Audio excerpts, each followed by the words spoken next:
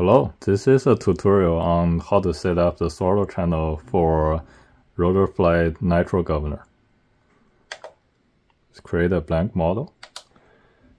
Um, you can directly go to mixes page and for channel 6. So let's name it throttle channel and the source will be the throttle stick. And we need a curve for the direct throttle on bank 1 so let's say custom curve and then curve one. You can then go to the curves. We'll set up curve one. Let's do three position from negative 75, which is the idle point, to right below the midpoint, let's say negative one. So that it starts with idle position and it will have direct throttle until just below 50% output and it will not be governed at any point on uh, bank 1. Now let's go back to mixes and we'll set up a, a governed mode for bank 2 and 3. So insert after, name, let's say governed mode, and source will be max switch will be the opposite of, of bank 1. So my bank 1 is here. So opposite of that is SA up, but inverted. And we'll change the multiplex to replace here.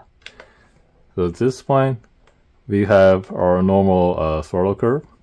And then once we flip to bank 2 and 3, it will override to 100%. Now we set up a idle switch. So let's name it idle. And the source will be min. We'll set up a switch. So my run is on the top. So I want the bottom two position to be idle.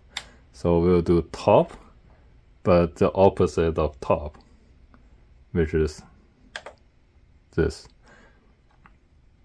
And then again, we'll do a replace so that when the motor is run, this is whatever the throttle is. But uh, as soon as it goes to the center and the low point, it'll override. And we want it to override to negative 75%, which is the same as the bottom of the throttle curve. And finally, we'll do a throttle cut. You insert after name it cut. Source will be again min. And switch uh, I will do the momentary switch in the in this position. So SF down. And again we will replace. So that at any point when I flip this switch it will override to negative 100%. So the arming sequence will be, let's say this is my arm switch and this is the arm position. I will need to hold my throttle cut and then arm and I can release it, it will be armed. I cannot arm it by just flipping the switch. It won't arm, the throttle servo will not move and the heli won't start.